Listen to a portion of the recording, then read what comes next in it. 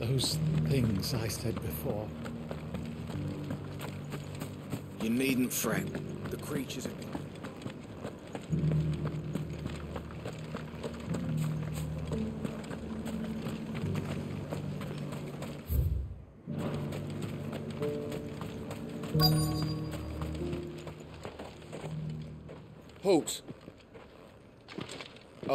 sorry about that. You're the dame's man, aren't you? You got some business with the captain? No, actually. With the Duke. I was hoping I might be able to speak with him. We're under orders not to let any civilians pass. But you should be all right. His Eminence has heard all about you and your heroics. Wait here. I'll go and ask.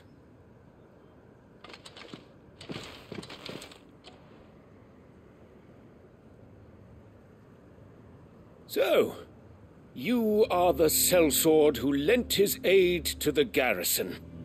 The Empire owes you a debt, and I shall see it repaid. But tell me, is it wealth that you seek or favor? Neither, Your Eminence. I thought only to inquire about your plan to turn Northreach into a stronghold. Ah, I see. You are worried the expanded garrison will render your services redundant. Yet you needn't be. A proud fighting man like yourself shall always have a place here. Pride of place, in fact. For too long has the contribution of the noble soldier been under-reckoned. But no more. For it is they who shall see the Holy Empire rebuilt, beginning right here in Northreach. Why here, Your Eminence? The town has been fortunate enough to escape largely unscathed from the recent troubles. Her defenses are sound, and her garrison well prepared. Which is more than can be said for Oriflamme or Twinside. The Empire wants for a capital, and I believe Northreach to be the perfect place. With Caer Norvent as her citadel. Once we have seen to the refortification of both the town and the castle, we need only build a wall around both to create a city that would be the envy of the twins.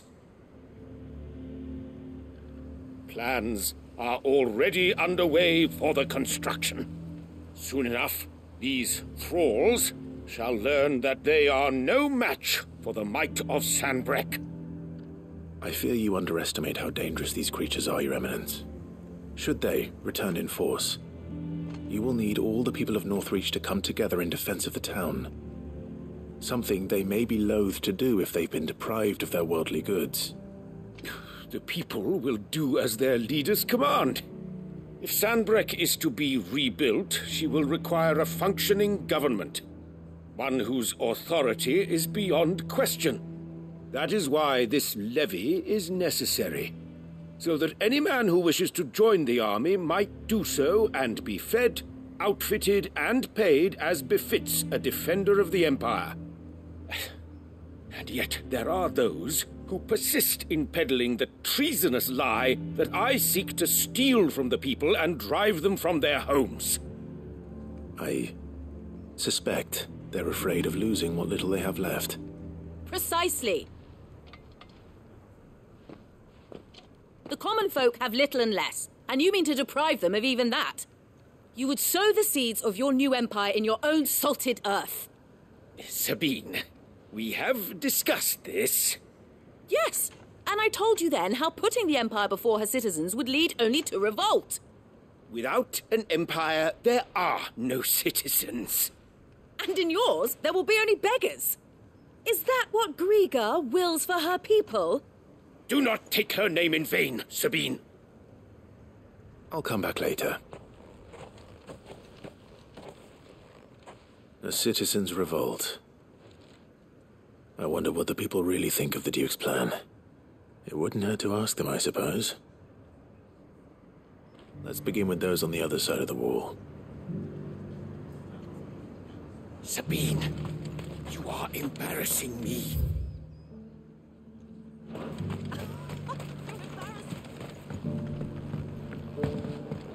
There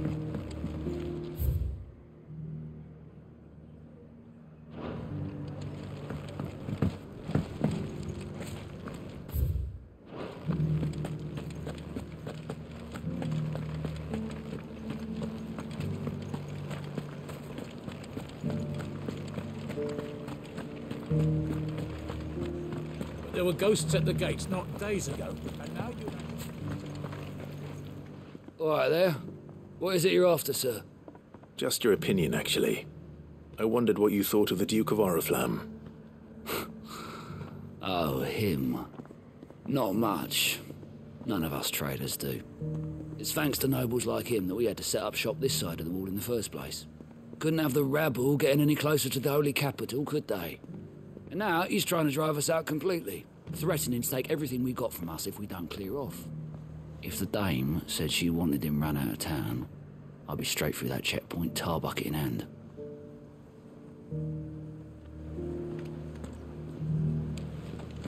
The Duke might have soldiers at his beck and call. but Us common folk follow the dame, and no one else.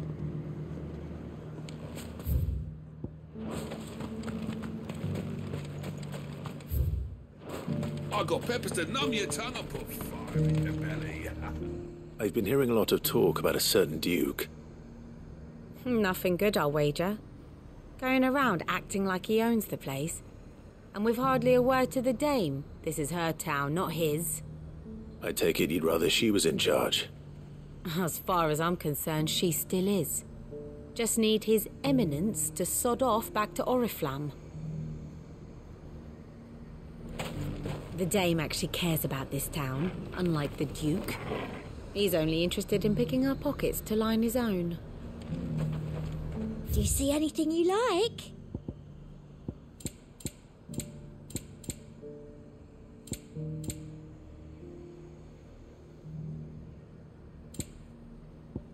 I'll be here if you need me.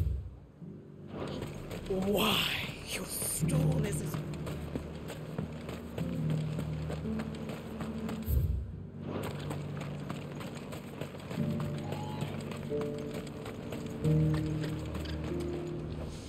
question, if you don't mind. What do you think of the Duke of Oriflamme? Hmm, don't get me started. You build a life for yourself somewhere, only for some noble to turn up and tell you you've got to hand it all over to him. If he thinks his name and his chains give him the right to empty our purses, he's in for a rude awakening. We'll do whatever it takes to keep what's ours. Whatever it takes. Well, the people seem united enough. What about the soldiers? If he comes calling, the only thing I'm giving the Duke of Oriflamme's a piece of my mind. Maybe a smack in the gob.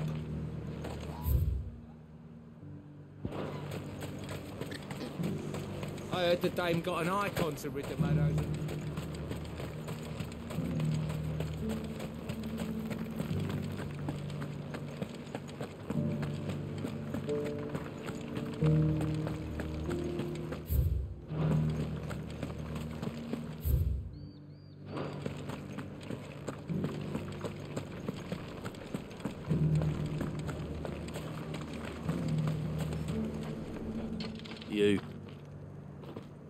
One who was talking to His Eminence. On the dame's behalf, yes. I was trying to persuade him not to take the people's goodwill for granted, but it seems my words fell on deaf ears. What do you think of his plans? I'm a soldier, mate. He tells me what to do, not the other way round. Listen, I've got nothing but respect for the dame, but I've got a family to look after. That's where my loyalties lie, not with the town or the Empire, but with my wife and children. If the Duke can get us cement and the equipment we need to fight off those blue skinned bastards, I don't care how he does it.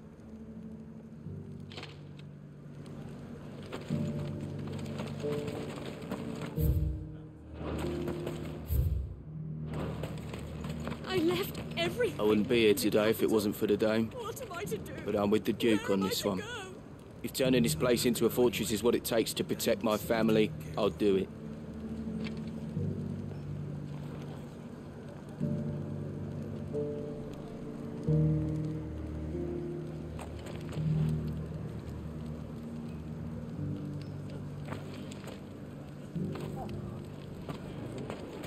As long as you remain, the Veil will see to your needs.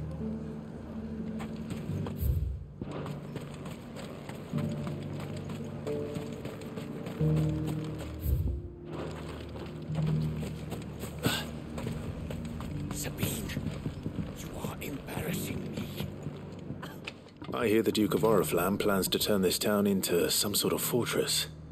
Do you think that's a good idea? It's not for me to say.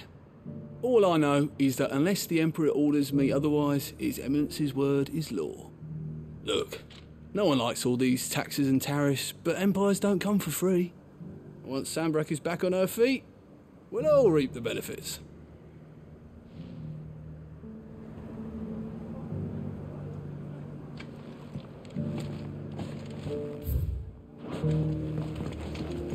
What the common folk don't understand is, this is for them too. Either we turn the Empire back into a force to be reckoned with, or we live in fear the rest of our lives.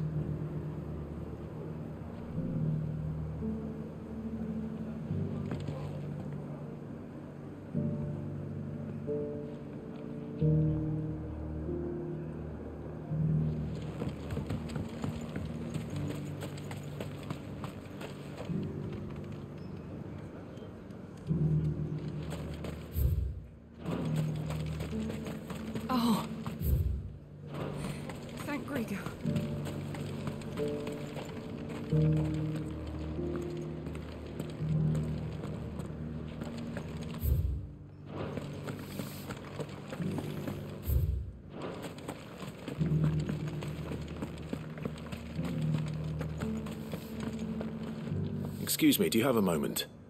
I wondered if you'd mind sharing your thoughts on the Duke of Oriflamme. Well, he's made a lot of enemies coming in the way he did. But I mean, look around us. You can see the state the realm's in.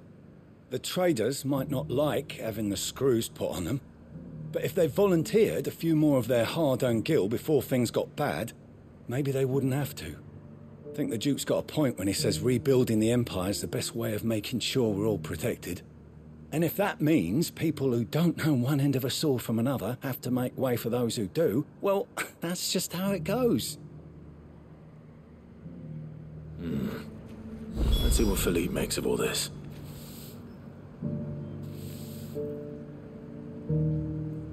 I mean, it'd be nice if we could all do whatever the hell we wanted and not end up being torn to shreds by a swarm of fiends. But we can't, so we've got to make sacrifices, just like the Duke of Oriflamme says.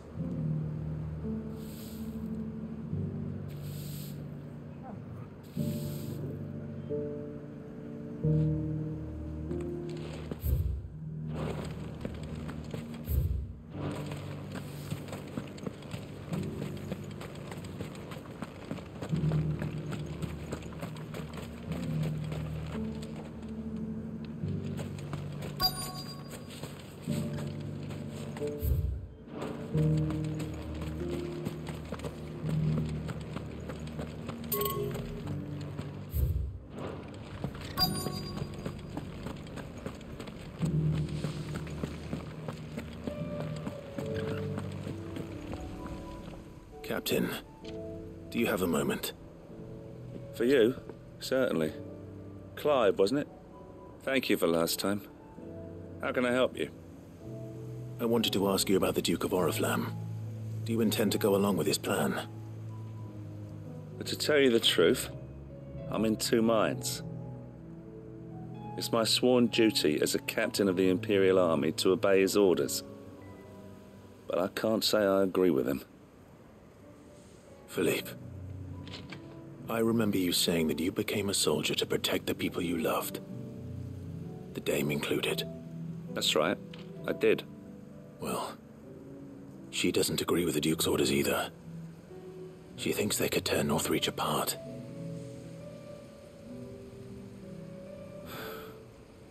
And she's probably right.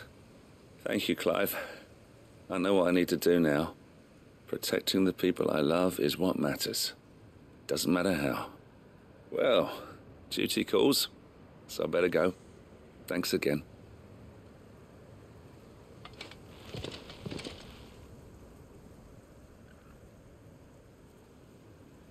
It seems Philippe wants to do the right thing at least. I expect Isabelle will be pleased to hear that, if nothing else.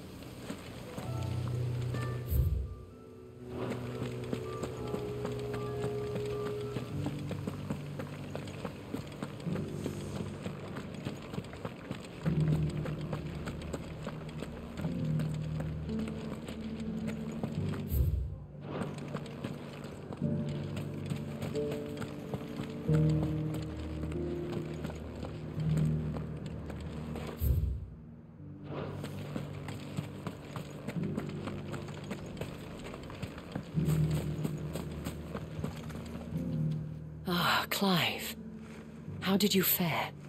Were you able to speak with the Duke? I was, but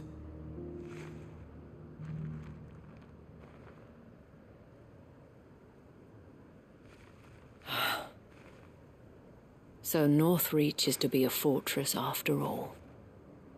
Well, it will certainly help to hold back the thralls. There's no denying that.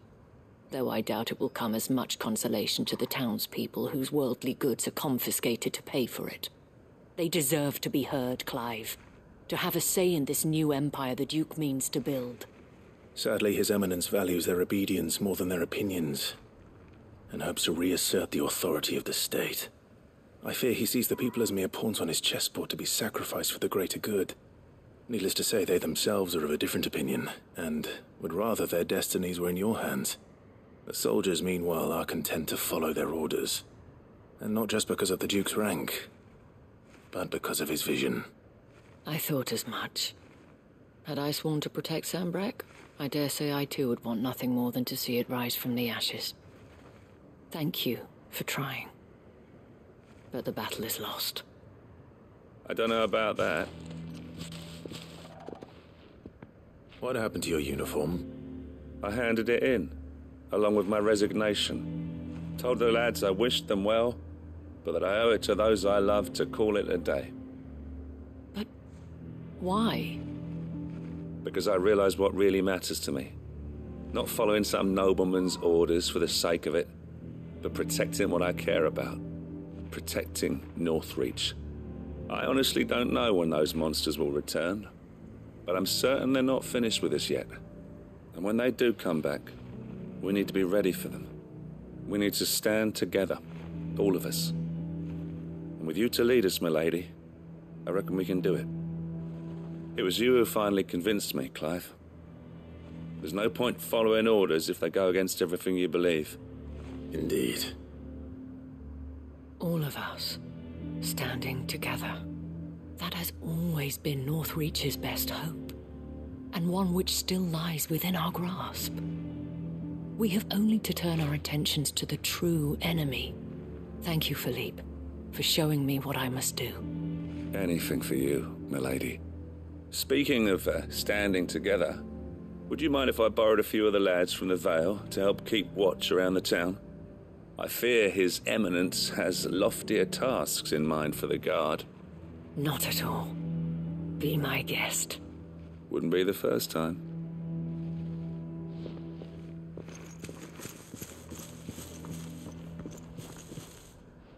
There may be hope for Northreach yet, especially with men like you and Philippe to champion our cause.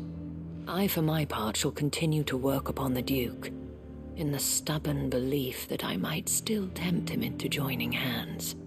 But I suspect I shall have to call upon your aid again. Until then, Clive.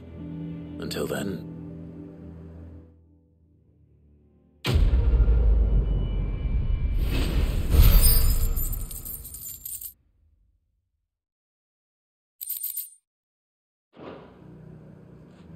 Despite my repeated advances, His Eminence has proven a difficult conquest. Fortunately, I am nothing if not persistent.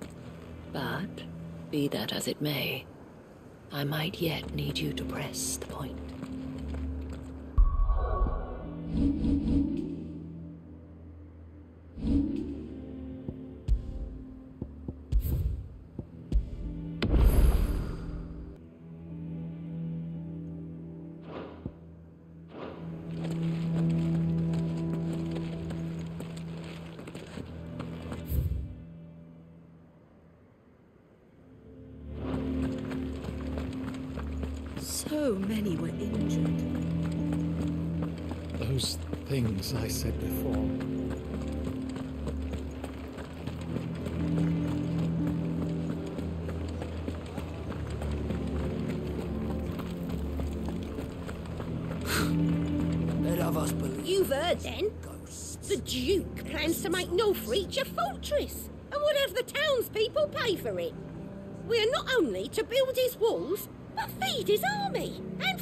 Fill his stores, all for the privilege of living under his rule.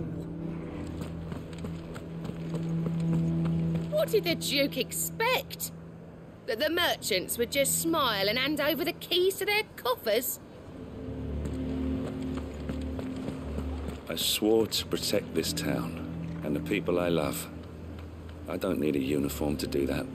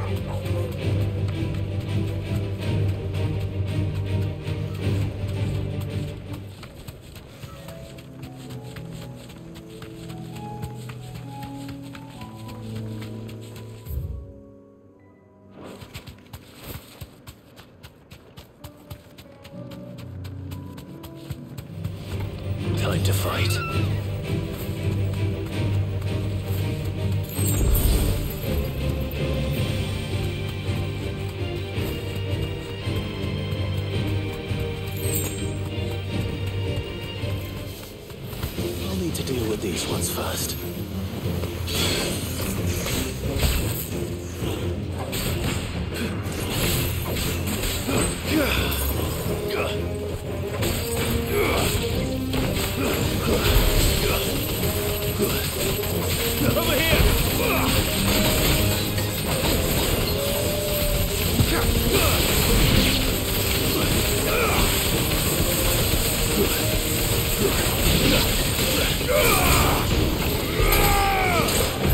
Enough.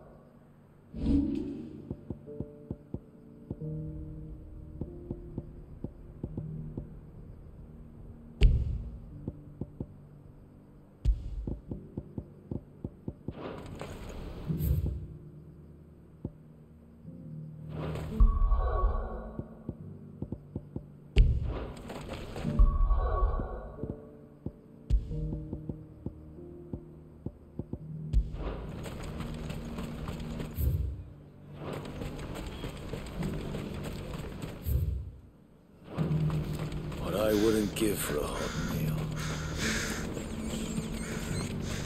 When are they gonna let us through?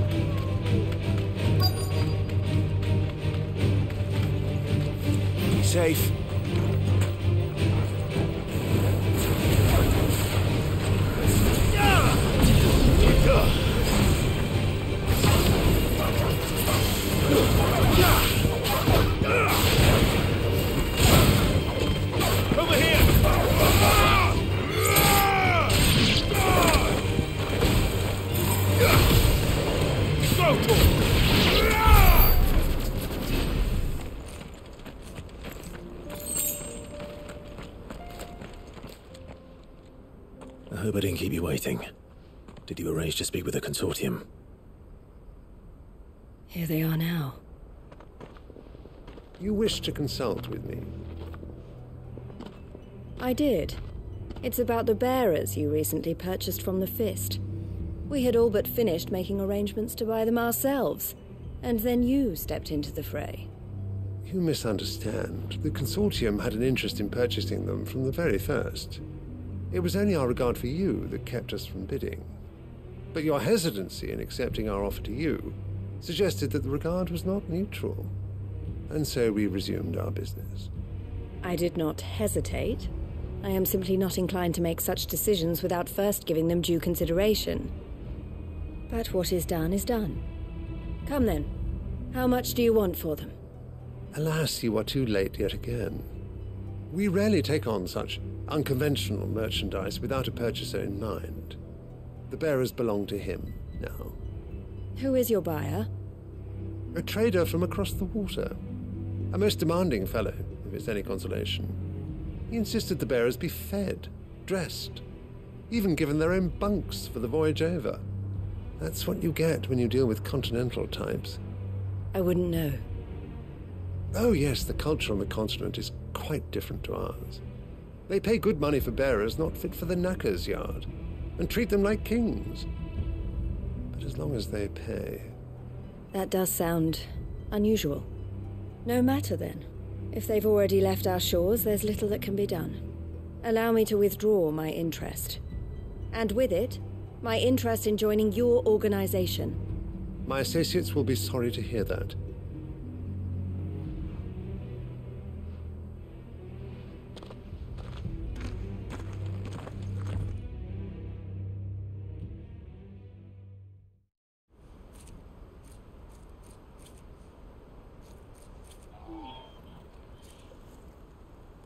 I'm sorry you weren't able to save them. As am I. But I only have myself to blame. He was right, you see. The Silver Peak Consortium did intend to buy those bearers before I did. Their representative hinted at a possible purchase when he came to recruit me. I feigned interest in joining them in the hope he might be encouraged to tell me more, and he did just that. As soon as he left, I sent my own offer to Randalar. So you never. No. I entertained the consortium's proposal solely so I could learn more about those bearers. But I was a fool to think they wouldn't find out. I knew exactly who I was dealing with. You tried. I did. And if what he said was true, the bearers are to be well treated. Which is something, at least. They deserved more. I wanted so badly to see them freed. Eloise! Eloise! Word from Cashlock. The village is under attack. A pack of beasts have come down from the mountains, and there's a dragon at its head. Theo and the others are trying to hold them off as best they can, but the odds are against them. They need help, and fast. Theo! I'll go on ahead. Thank you, Clive. I'll gather some men and join you there. Just. Make sure he's safe.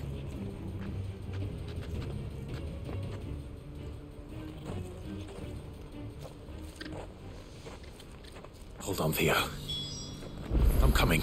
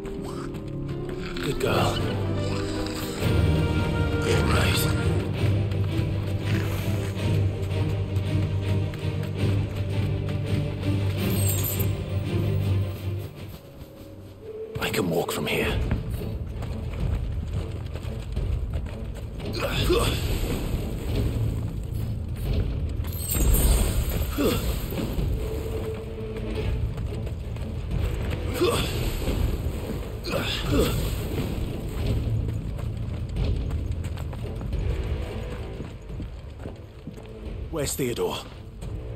Upriver! He led the dragon that way to keep it from the village, but the whole area is flooded with ether. We just have to pray he makes it out in one piece. I can do better than that. Torgal, with me. Theodore led the dragon upriver. God help him. I only hope he's still alive. There's an ether flood up ahead. I know Theo's a bearer, but even he can't stay in there forever.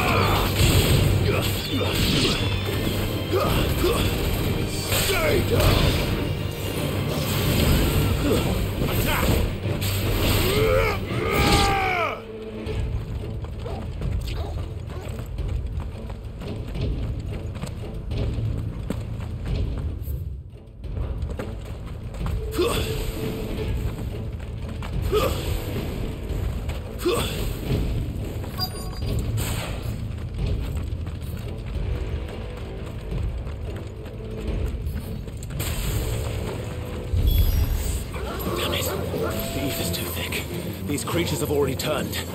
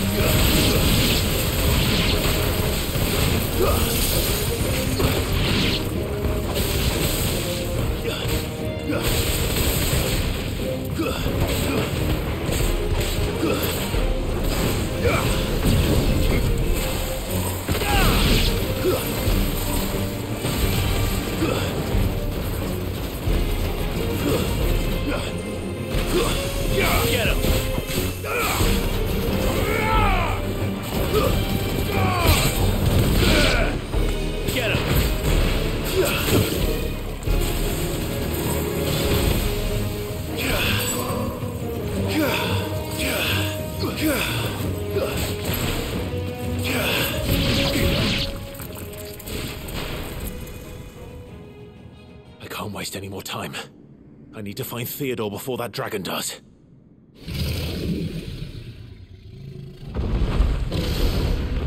Looks like it's found me. This thing's turned as well.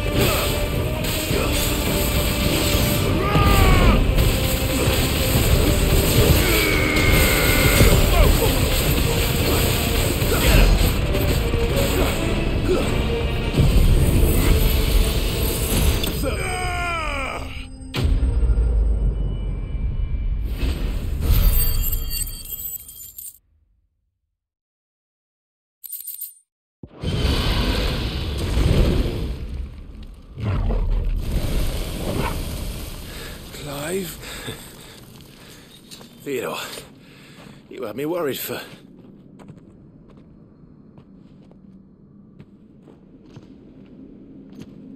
We have to get you out of here.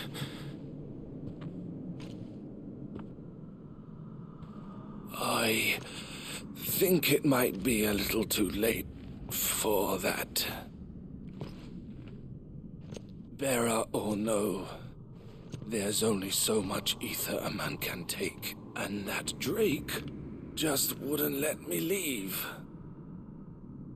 You have my thanks, Cid, for finishing what I could not. For keeping Elle's dream. Theodore!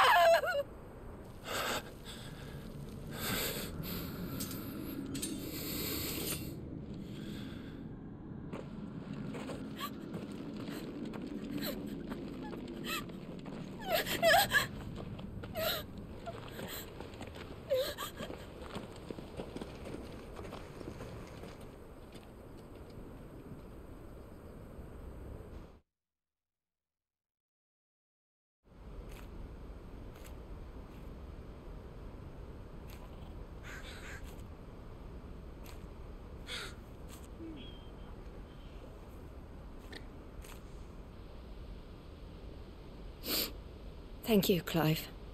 I think I'll be all right now. That was true bravery he showed. Leading the dragon away from the village like that. His first instinct was always to protect people.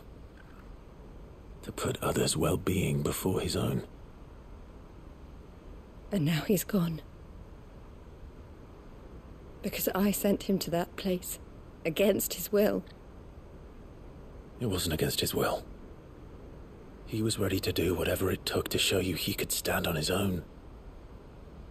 So that you would finally be free to live your own life. To live my own life. He never could come to terms with the choice I made. What exactly happened?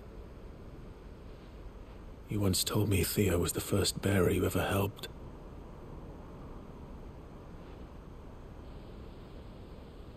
We grew up in Canva. We were born to one of the great trading houses. And I was chosen to inherit the family business. I had my father's head for figures, you see. Theo did not.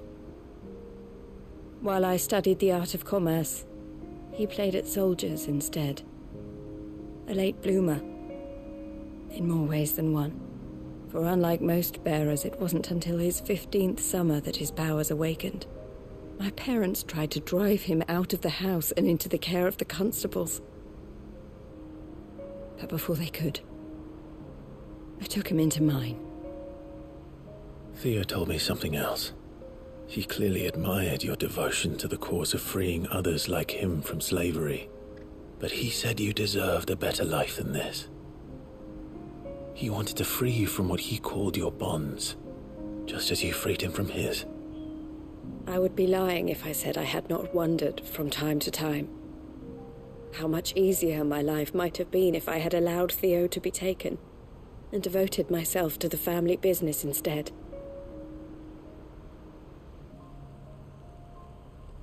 But I have never regretted the decision I made. Being with my brother meant more to me than tradition or reputation. I only had to look at him to remind myself of that night and the choice I made, and the fact that I would make the same choice again in a heartbeat.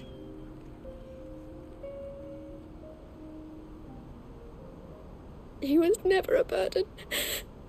How could he even think that? If anything, I was the one who weighed him down. You weren't, Eloise. He said it himself that he had always been grateful to you for saving him, and that he wanted to repay you by letting you live the life you were denied. Neither you nor Theo weighed each other down. You loved one another. You did whatever was necessary to continue living your lives together, and you always would have. You're right. All I ever wanted, all I ever did, it was so we could be together. Oh, Theo, why did you have to?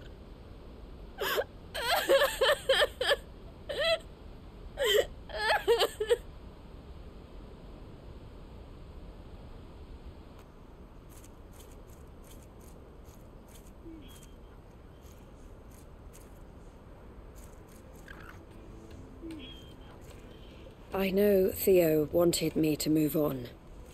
But I'm staying here at the Crimson Caravans to continue our work. We can make a difference here. We can help people. Save them. I need nothing more from life than that. So I'll carry on doing what we do. Ensuring that goods, people, bearers get where they need to be. Bringing smiles to people's faces, just like we always have. And to Theo's wherever he is. This is the life I have chosen. The life I will always choose. I've made a choice of my own to continue helping you however I can. Whenever you need it. Thank you, Clive. Let's go on together then. For Theodore.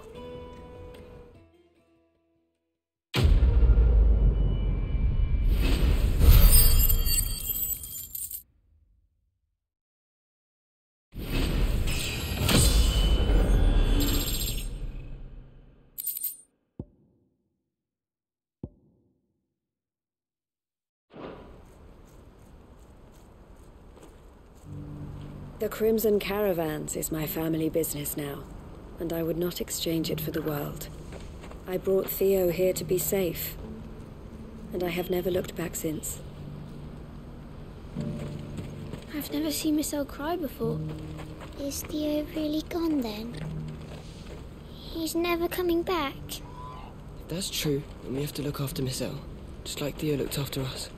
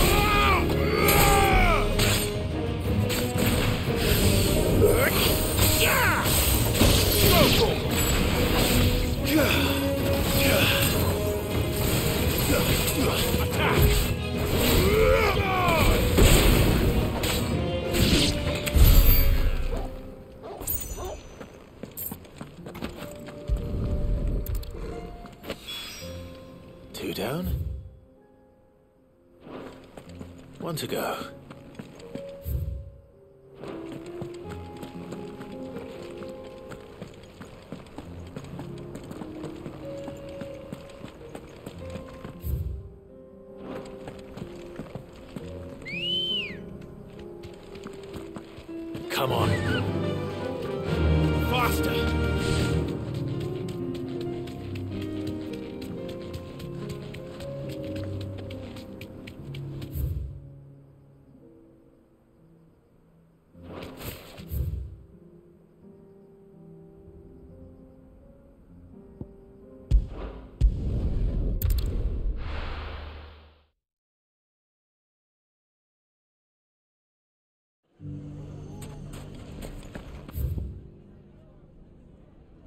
everything's back the way it was.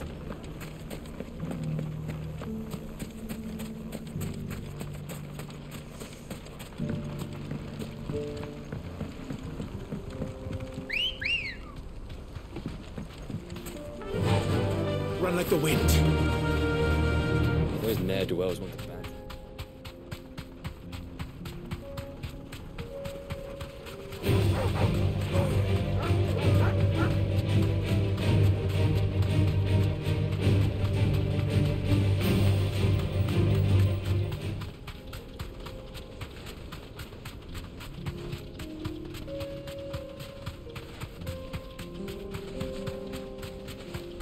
must be the camp Victor mentioned. Come on then, Torgal.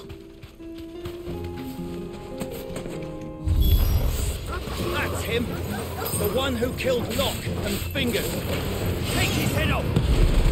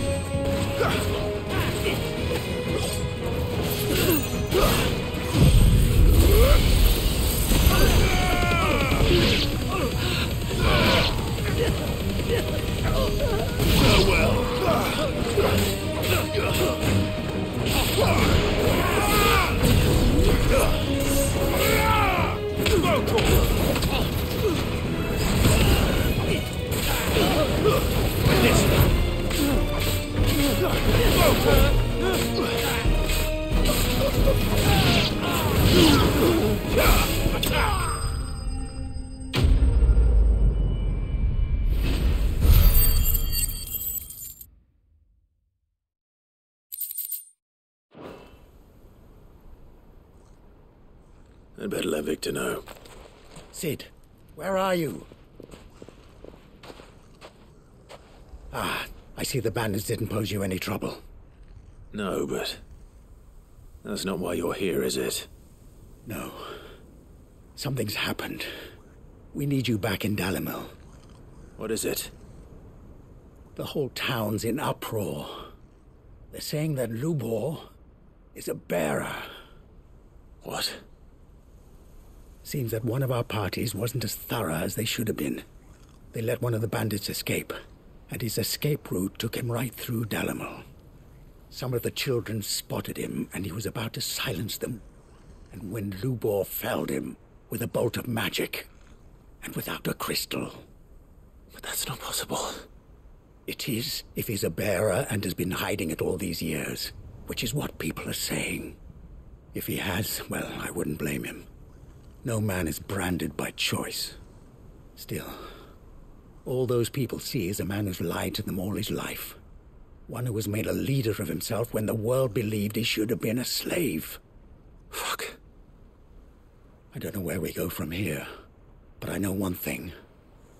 Lubor needs all the friends he can get right now. You're right.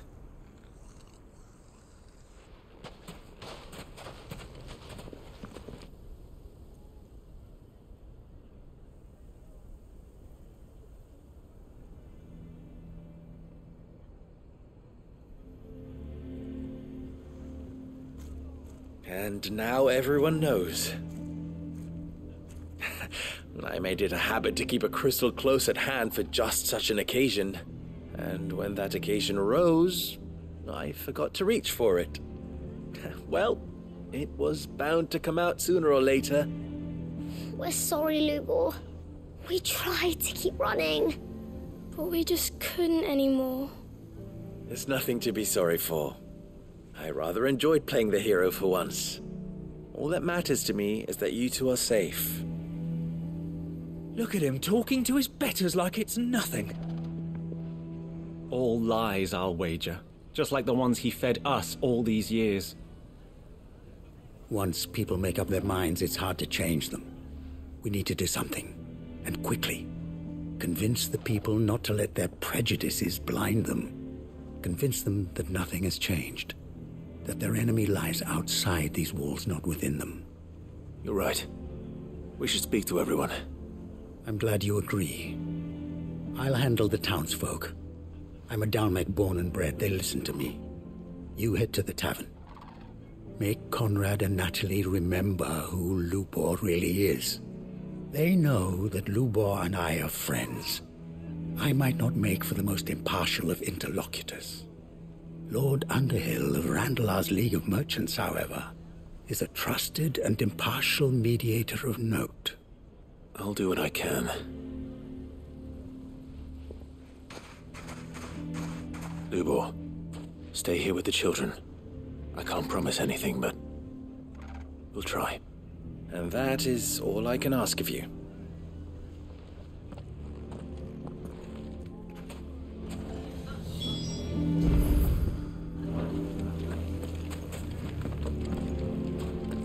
Thank you, Clive. I'm sure you have better things to do with your time. I don't care if Lubor's a bearer. He's still Lubor, isn't he?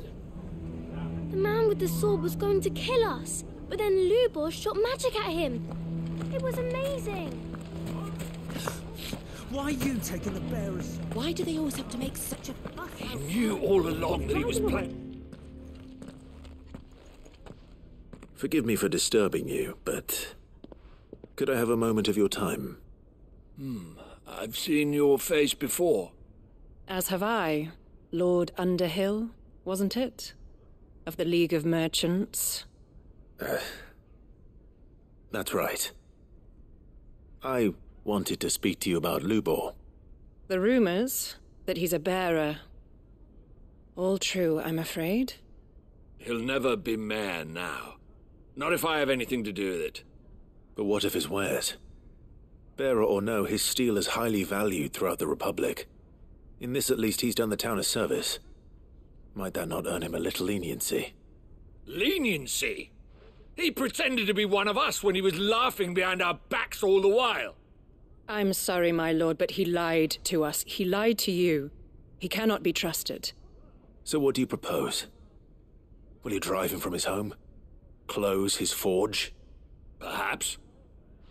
That is a question for the people of Dalimil, and they will thank you not to get involved.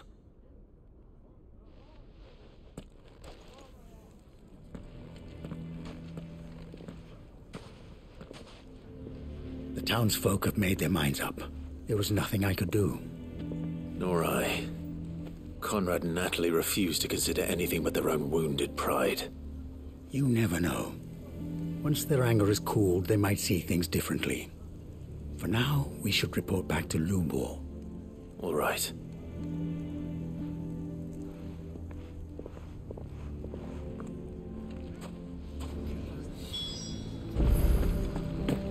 Why the hell would Victor take the bearers?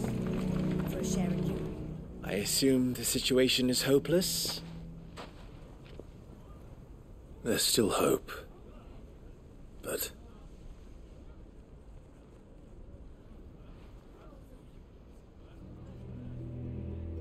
But perhaps not in this lifetime, I think it's fair to say. You mustn't think like that, Lubor. Give them time. They'll come around. We'll talk some sense into them in the end, you'll see.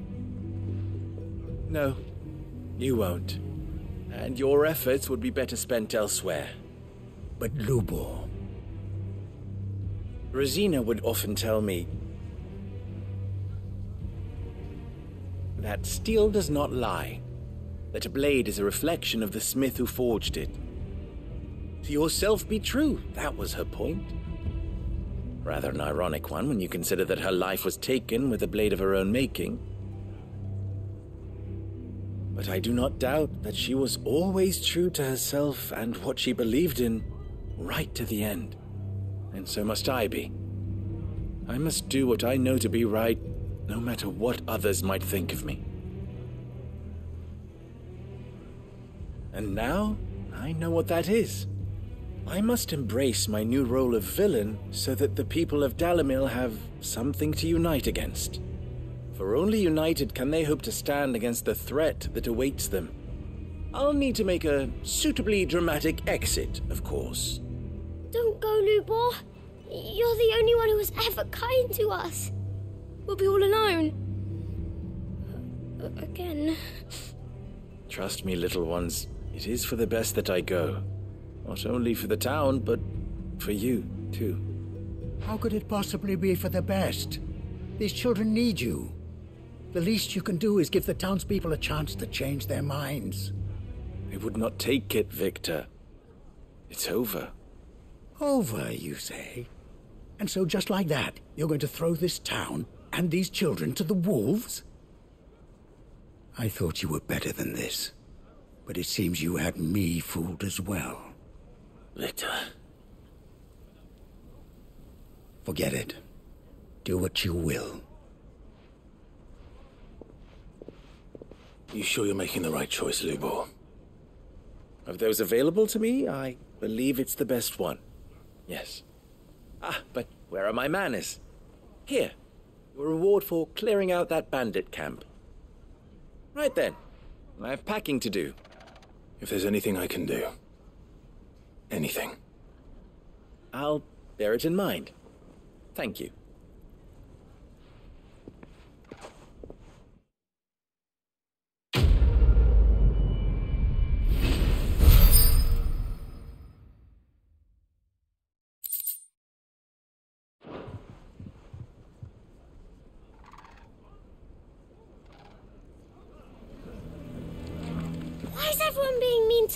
To He didn't do anything wrong. I'm going to go with him. Why didn't he tell us? If you're going to try and convince me to stay, save your breath. I will not put those children at risk. What do you mean, don't jump to conclusions? He cast a spell without a crystal. take the bearers? Why do they always have to make such a fuss out You may have your business interests to consider, my lord, but do not think you can sway us with your honeyed words. Lubor has been lying to us from the beginning. How can we trust him?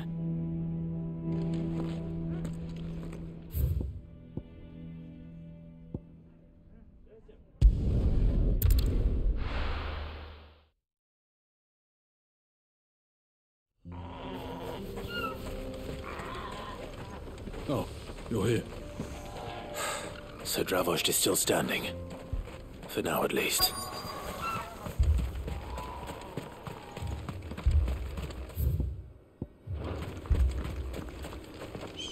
Anyone without a blade, come and get one.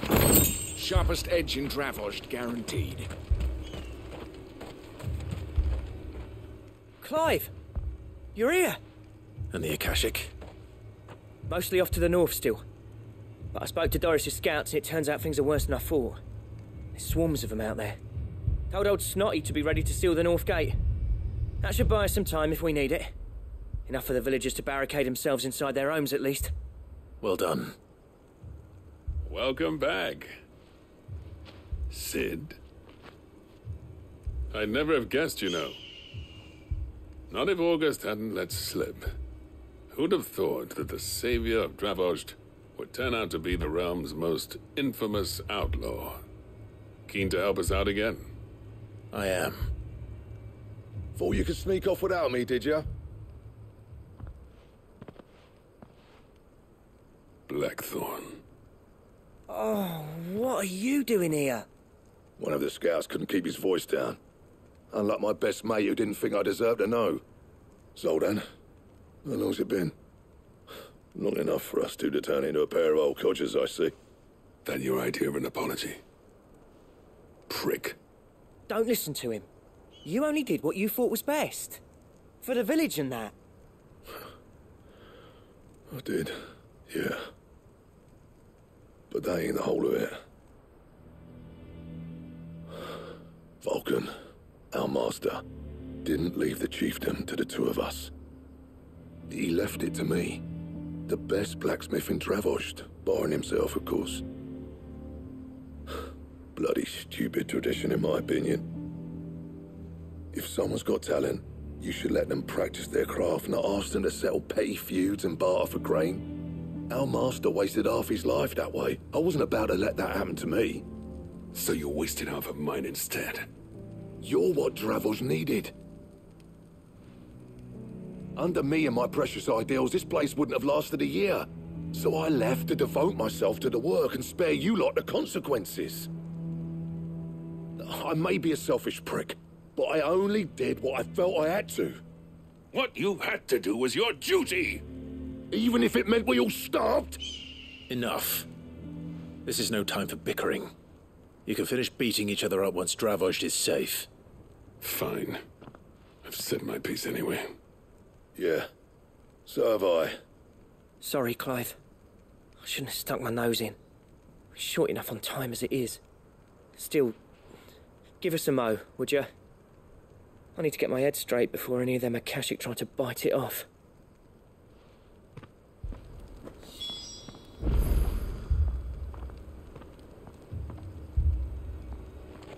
You, uh, ready for the off then?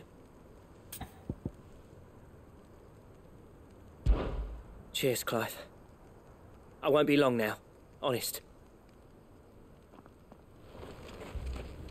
Prick or not, I won't abandon Dravos to a swarm of Akashic. Just say the word. The villagers know to keep out of sight when the fighting starts.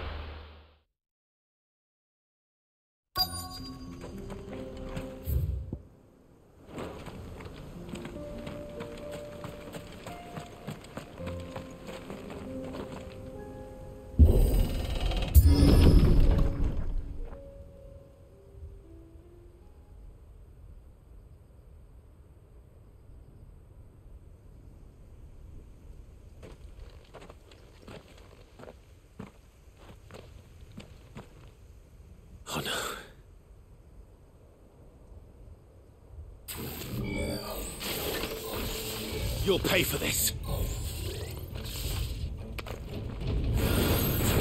There may still be survivors.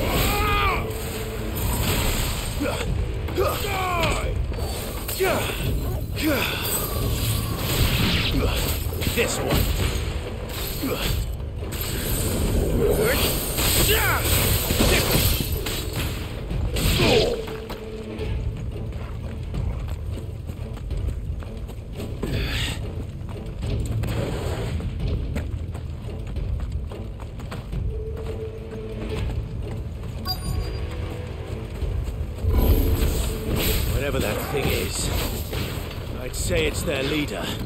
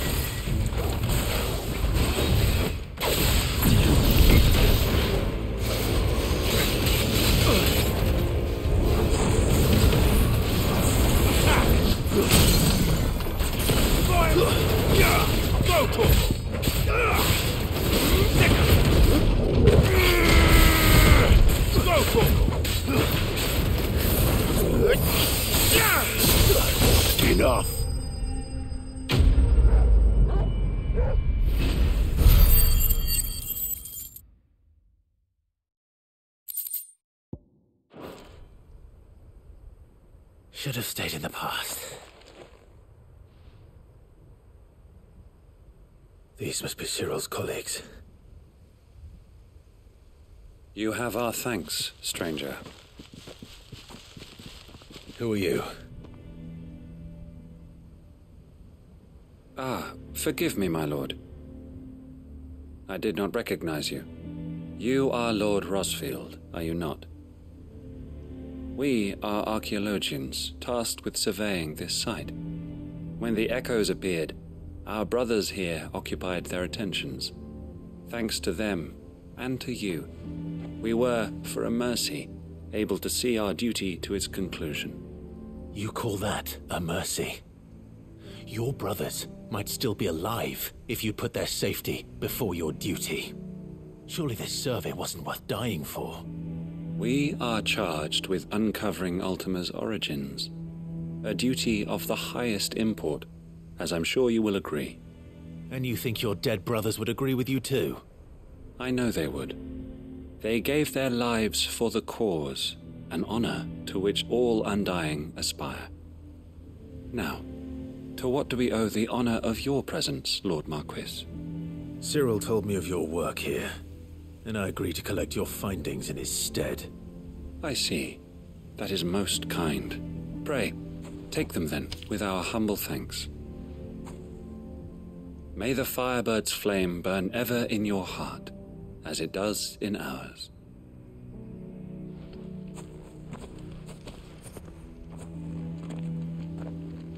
It's one thing to lay down your life for another, but for a survey. I suppose I'd better get this back to Cyril.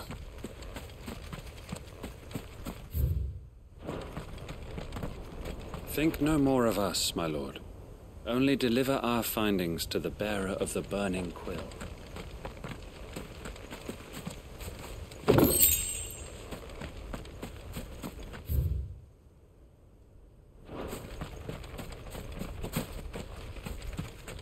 Let us continue then. There is a second path.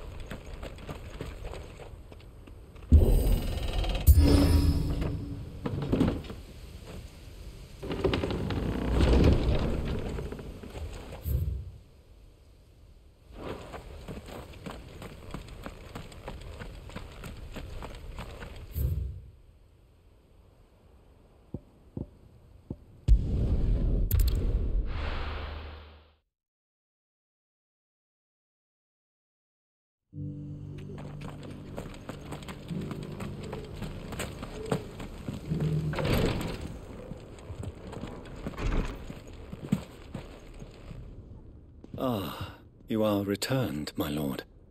I collected your colleagues' preliminary findings. Here, take them.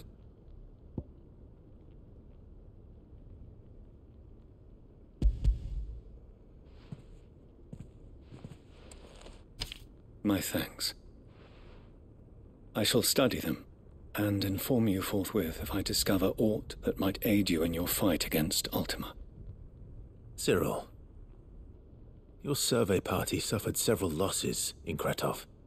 Losses which could have been avoided had the others not chosen to complete their work instead of saving their friends. Were these your orders? No. This was their choice. Every Undying devotes his life to the service of the Phoenix. It is our sole duty, and should we die in discharging it, so be it. Even when death is avoidable.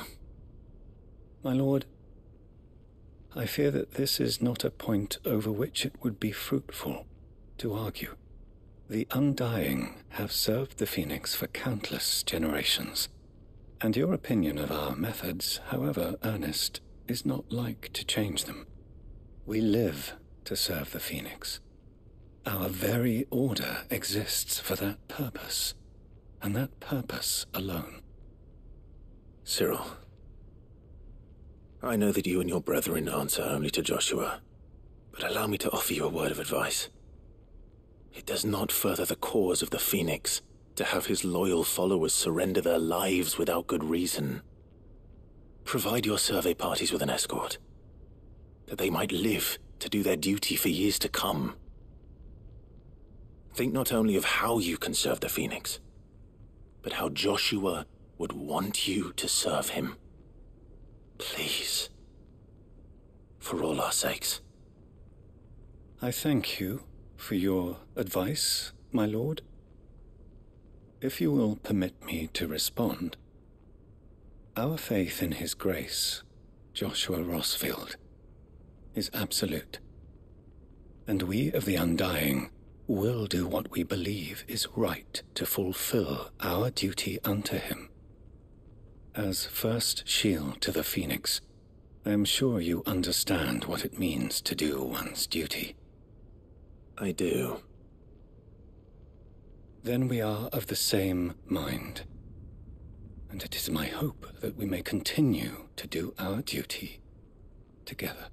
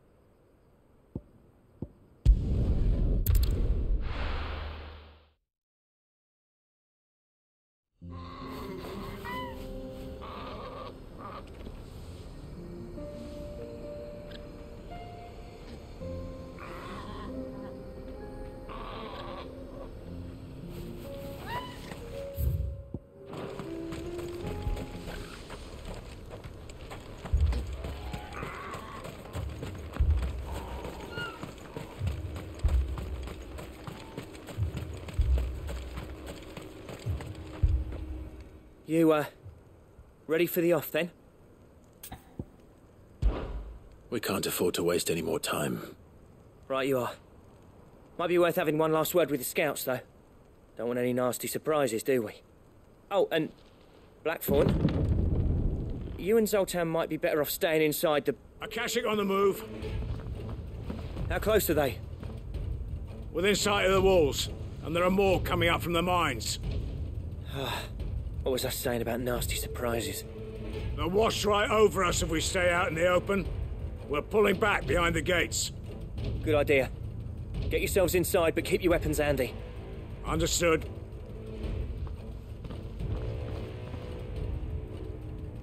I'm prepared to fight if I have to. Well, let's hope you don't. That's our job. Once the scouts are inside, order your men to barricade the gates. No heroic last stands, you hear me? No fighting at all if you can help it. August's right. I've seen what a Akashic beast can do to armor. The people here are tough and willing, but they ain't equipped to face what's coming. I'm going out there. Start work on the gate as soon as I've left. I'll give you as much time as I can. And if they kill you? You evacuate. But it won't come to that. I promise. You'd better be right. Take good care of Dravoj till I get back. Leave it to me. And give those things what for, yeah?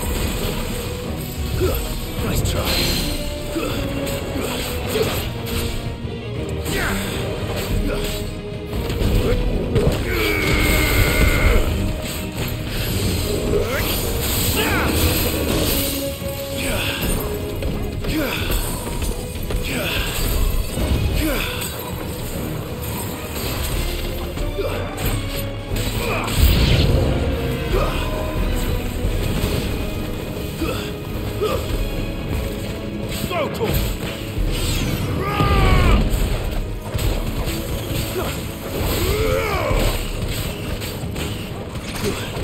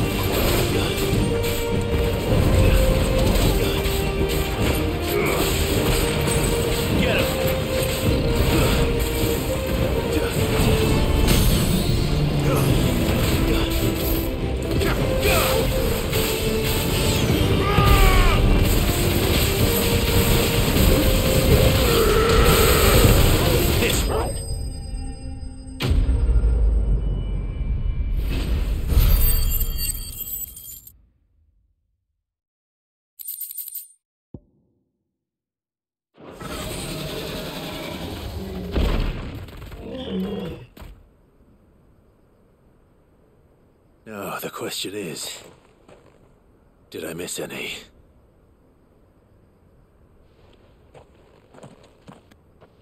Man alive! You're still in one piece! I slew as many as I could. As many as I could, he says. The old bleeding lot more like it. Well, almost. Only almost. Yeah, one or two did try to sneak over the wall. But we got the bastards, don't you worry. Good. Though you do know, more will come in time. In time, yeah. But we can think about them later. Let's get you back inside.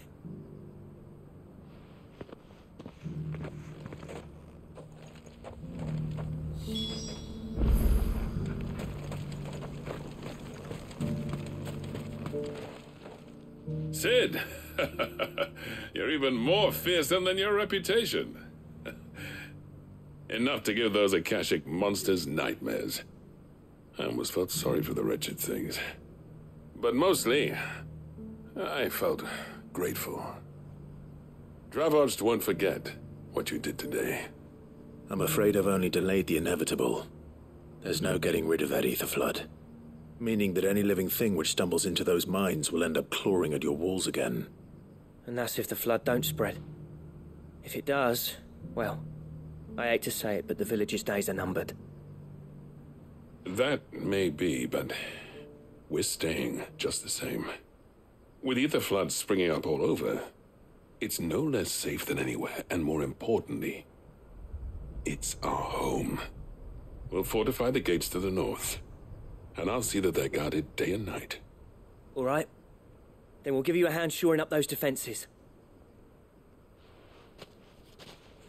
As for you, Blackthorne, that's twice you've turned up when Dravosh needed you. So, thanks. I shouldn't have stayed away so long. And I shouldn't have left without talking it over with you first. Too bloody right you shouldn't. Though I doubt I'd have listened. I always envied you. How you made everything look so easy when, for me, it was anything but. You leaving gave me the perfect excuse to hate you. And from that day on, I never once stopped to wonder what it would have been like if you'd stayed. But what you said earlier, it was true. You'd have been the death of this place. Finally, something we can agree on. I hope you see the sense of it eventually. You kept this place alive. Alive, perhaps. Wealthy, even, but. Dravosh isn't what it once was. Our work used to be the pride of Dhalmekia. Now, we churn out the same rubbish day after day because it's easy and turns a profit. It's not about the craft anymore. I wouldn't send my sons to war wearing the shit most of our smiths are making. I've kept working, honing my skills, trying to lead by example, but no one sees the point. The average castle apprentice has as much passion for the craft as our current lot. Come back to us, Blackthorne. Remind Dravosh what a true master blacksmith looks like. I'll even man those bellows of yours if it means we can work at the same forge again. That's a kind offer. Kinder than I deserve. And I wish I could accept, but I'm needed elsewhere. There's people who trust their lives to my steel, and I daren't let him down. Fair enough. But that doesn't mean I couldn't visit from time to time. Let's see if we can't rekindle this town's passion for the craft, shall we? I'd like that. Just be sure to tell Snotty to let me in the next time I come calling, yeah? Knowing him, he'd let you in anyway. Blackthorne. The Master Smith turned outlaw, back in my good graces. I never thought I'd see the day.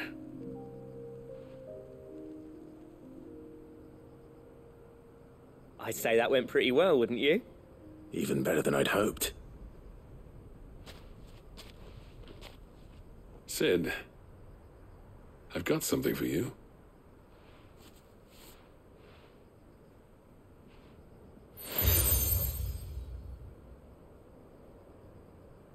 And this is?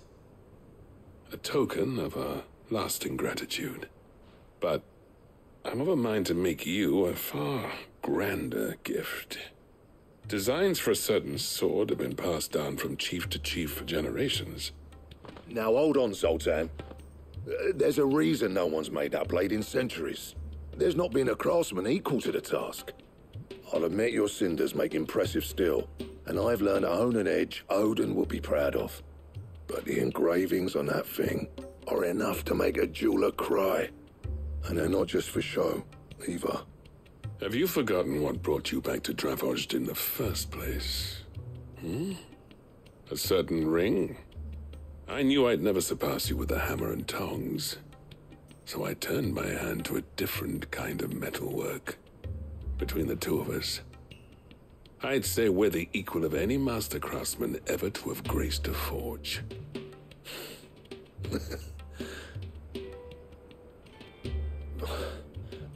You know what? I think you might be right. Clive, you wouldn't mind if Zoltan came back to the hideaway, would you? He's more than welcome. As long as he can keep our secret. Right. Zoltan, get your tools. We've got a legend to forge.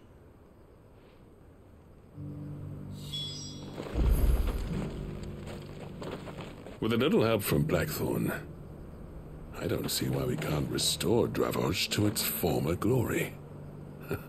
Barring ether floods, that is. I'll tell you what, Clive. If we pull this off, it will ruin every other sword you've ever held. I'll get him back to the hideaway. Don't you worry about that. The beast was charging at me.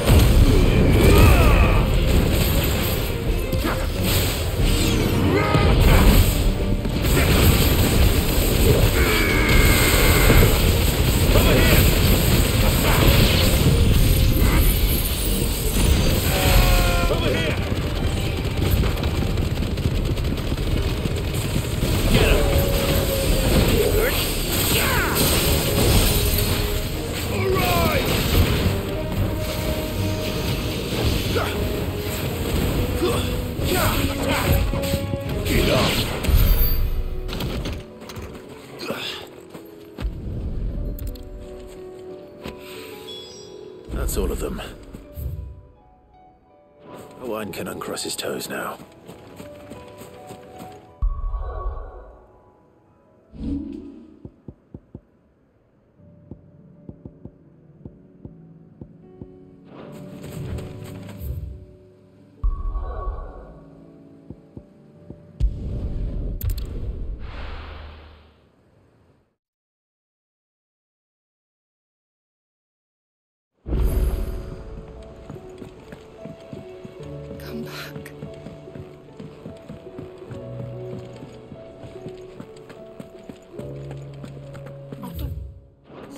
We've run out. Papio Thin nuts and all. days. What do you expect?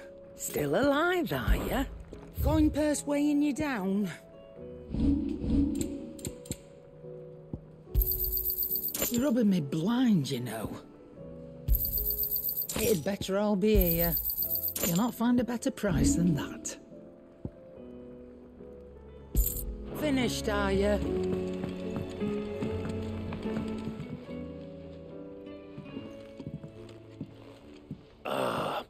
Man himself. We were just about to make a start on that sword I promised you. It's funny, but none of this would have been possible without your help. You remember Camille? We'll be using his leather work for the grip. The steel, meanwhile, will be tempered in a fire burning the cinders you charmed out of old Zoltan here. And that whetstone from the Outer Isles? That'll be what gives the blade its edge. And the final flourish will be my talented colleagues engraving. A team effort led by the greatest blacksmith alive. now, now, save that talk till the thing's finished, yeah? Right. I'm ready if you are. To the bellows it is then.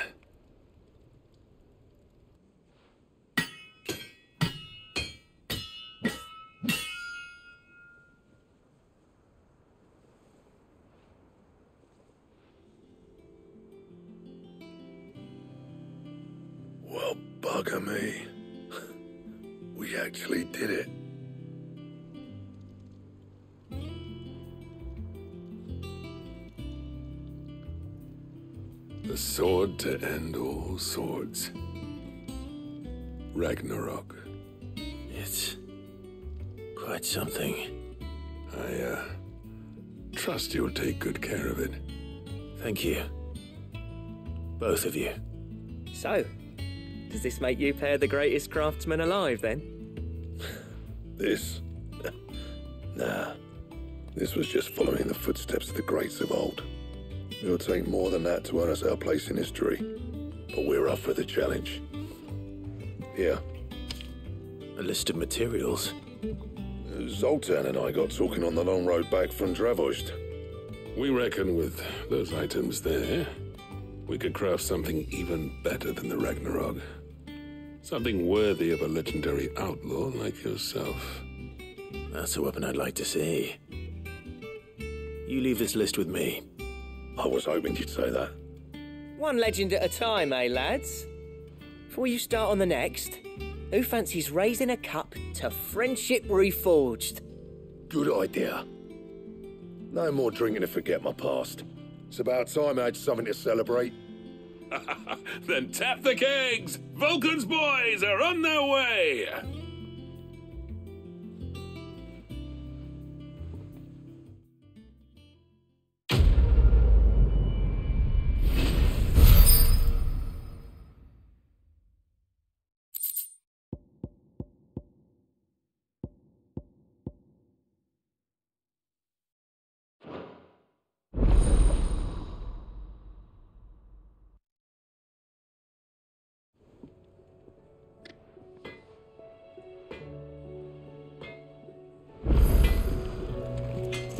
You reckon we finally got to the bottom of Blackthorne's troubles then?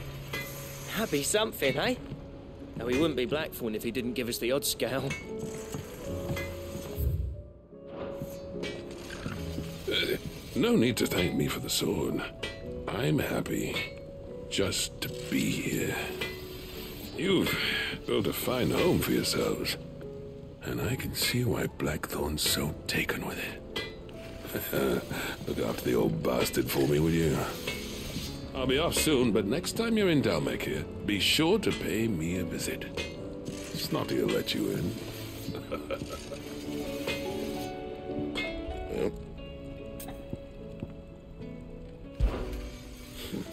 I never thought me and Zoltan would ever speak again, let alone work together. And if it hadn't been for you, we wouldn't. You've been a good friend to me, Clive. The best. What do you want?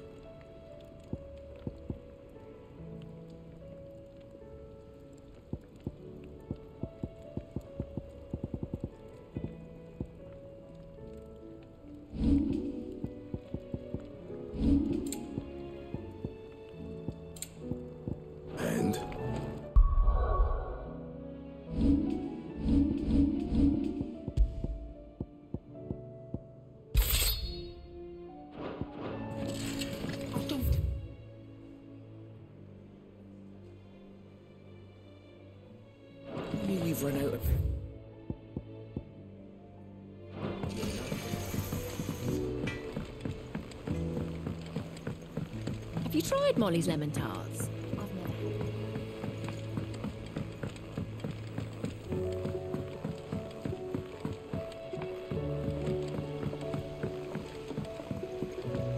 Kanver lost? It can't be true. Miss, can we read Miss Editor's story for our lesson today?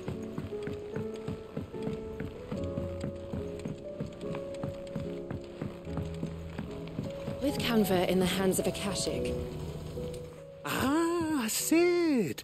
Wasn't expecting you back so soon.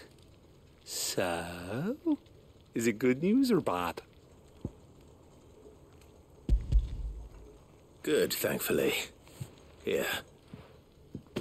Ah, that's brilliant! Thanks a blimmin' million! I'll fit 'em to the smelter right away!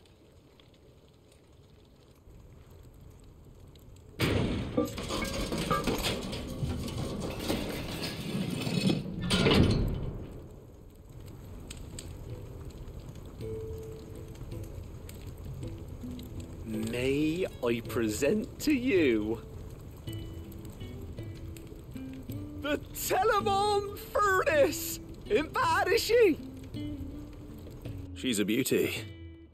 You saved my bacon again, Cid, and I ain't about to let your good deed go unrewarded.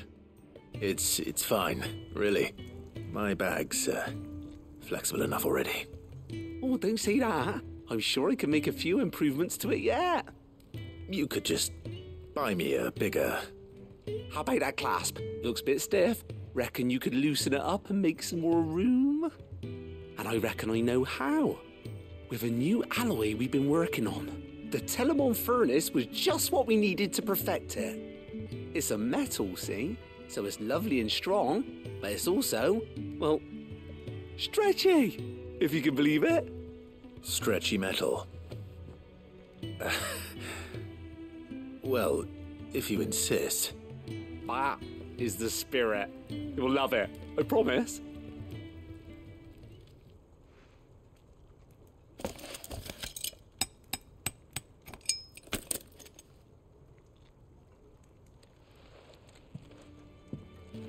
So, what do you reckon? It's actually quite ingenious. Thank you, Owain. Shh, don't mention it. You earned it. And I wanted to get some practice in using that metal anyway. Reckon we'll have all kinds of uses for it around the hideaway. Can't think of any right now, but that's our job, innit? Dreaming up new ways to make life easier around here. Maybe even out there, too. One day, the whole world's gonna know about the inventions you've helped us put together. That bag of yours will be the first of many. You mark my words. They'll hardly believe their eyes, I'm sure.